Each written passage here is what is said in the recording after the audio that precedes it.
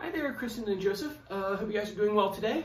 Um, this is your video lesson uh, for 927. Um, so uh, three things I want to go over today. Uh, one being left hand pointer man. Uh, number two, uh, something else to work on with our Twinkle Surprise. And then number three, um, just some right hand uh, kind of maintenance stuff. Um, so we'll go down point by point. Uh, so first thing is uh, last time uh, we made a breakthrough with um, Joseph using his pointer finger on his brand new dot over here on the second string. Uh, so good on that. Um, so what I'd like you to do is continue working on targeting and getting that on and off. Uh, what I do is take a little like something like a pen like I usually do and uh, draw a dot right on the tip of his finger. And you know, once he gets in good sitting position, um, is I want you to have him practice kind of maybe like dropping his hand and seeing if he can go like thumbs up, moon fingers, and then and then put his pointer man uh, dot or target on the on his new dot. Um, and you know, you know, roll a die or you know, do some sort of game that I do, like maybe have him run to the chair and sit down so he can get his pointer finger on there, um, or even have him just like sleepy hand, thumbs up, moon fingers, and then and then put his finger on the dot. It, it, I wouldn't even, maybe not even have him like worry about this over here. Uh, maybe just have him just really just working on here and then bringing it up and getting on his tip right there. You'll probably see stuff like this, like the finger sneaking, sneaking back there. Let's just work, concentrate this week on getting just on the tip of that finger right there and worry about the, worry about this stuff later on. We're alternating between the two fingers. Um, that'll be maybe a game we'll do next time. So yeah, so finger on, finger off, sleepy arm, sleepy hand, up to thumbs up, up to moon fingers, and then on, off, on, off, on, off, right on his bullseye.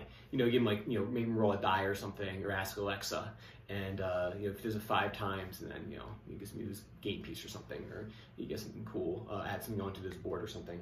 Um, cool. So that's what I want you to work on with his left hand. Uh, right hand with another the left hand thing I want you to work on is um, is with his Twinkle Surprise. Uh, what I want you to do is, um, he's pretty good at it, but I want to make sure that we're all moving in the right direction. Is when he gets his ring finger on his on his dot, right, and plays his Twinkle Surprise. And then right here, a lot of times the kids will let go and then come back. Frick that right there. What we want to do is we want to keep his finger arched, right? Now that we're talking about first finger, now it's time to kind of maybe polish up his middle, uh, his ring finger a little bit. You bring that finger up, you get it right on his on his target, on his bullseye. And the finger should be a circle finger. So if you need to go back and practice circle fingers this week for a reminder, um, then do that as well. So make your perfect circles. And if he makes this perfect circle there on his on his dot on his for his ring finger, when he goes to play the E string, see if you can keep that finger down without lifting off. So it goes.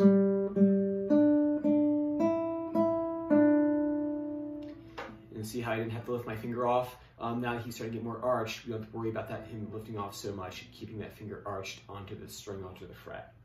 Um, cool, I want you to work on that. Um, and then, uh, let's see here. Oh, guess with that one too, make sure that E string rings out still. Uh, so if you play the, the, uh, third finger there and then E, E, it'll still ring through. If it doesn't, he's he's he's rolled this down a little bit and got off his his uh, his circle finger. Right, and then the other thing that I want you uh, want you both to work on is uh, just practicing our moonwalks, continuing that, um, making sure he can moonwalk. So maybe call out B string or have him do run over to his chair um, and play moonwalks on on G. And then have him run back and then uh, then call out moonwalks on on uh, on B, and then moonwalks on E. You know, make that a game so we can call it just different strings. It'd be good for him just to review the string names. Um, a lot of repetition, a lot of repetition with that. Um, if you find the open strings are, are, pretty easy, that he's getting those rapidly and not not confusing them, uh, then maybe move into uh, move into the colored dots. So maybe put the ringman one, see if you can do his moonwalks on ringman, or do his moonwalks on his brand new finger. So if you find that he's getting that pretty easily, right, and you think he's ready for the next next challenge, if he's getting that on and off without too much trouble, maybe even have him try to do some moonwalks on that one right there. Um, and then other thing too, I didn't write down here. Maybe I'll add it too before I send it over to you. Is um, is me to start identifying uh, different sections in Twinkle, like the Twinkle bread, the Twinkle cheese, and the Twinkle bread. Um, so remind me next week. We'll talk more about that in the lesson. We'll I'll actually play it for him and see if he can identify the different parts of the tune. Um, that goes more to like a deep listening sort of thing. Um, but we'll talk about that next time though.